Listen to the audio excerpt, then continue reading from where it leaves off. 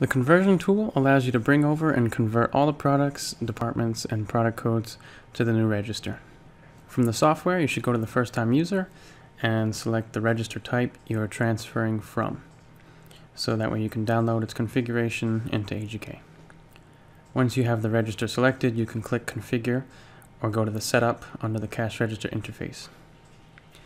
And now we can follow the instructions in our manual on how to connect to your specific register. In the case of a Ruby, you would select either RubyLink or GemCom, and then select the COM port you are using on the back of the computer. Then click Save and Test Connection. Once the connection has established, you can hit Diagnostics and save once more.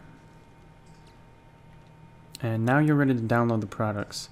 So you simply click on the cash register interface and then click Products Download and once prompted, are you really sure you want to update your products from what you last downloaded? You select yes. Now that you have the products and departments, you need to connect to the new register.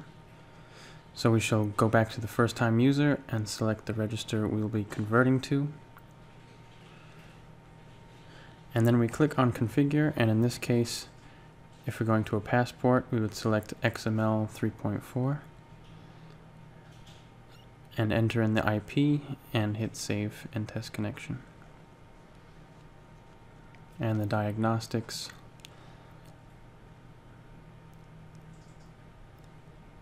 And then we can go back to the cash register interface and hit upload to cash register.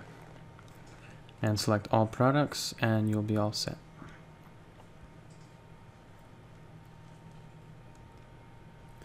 If you want to save a price book of a certain store, you can click the miscellaneous tab at the top and then you can hit price book export and select the location that you'd like to save it. To restore that price book, you go back to the miscellaneous tab and hit price book import and select the file that you saved earlier.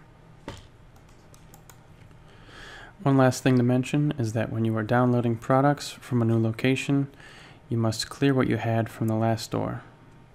To do this, click on the cash register interface and then click on View Products and click Query Wizard and then select Delete All and press OK. And this will start you off fresh with no departments or products.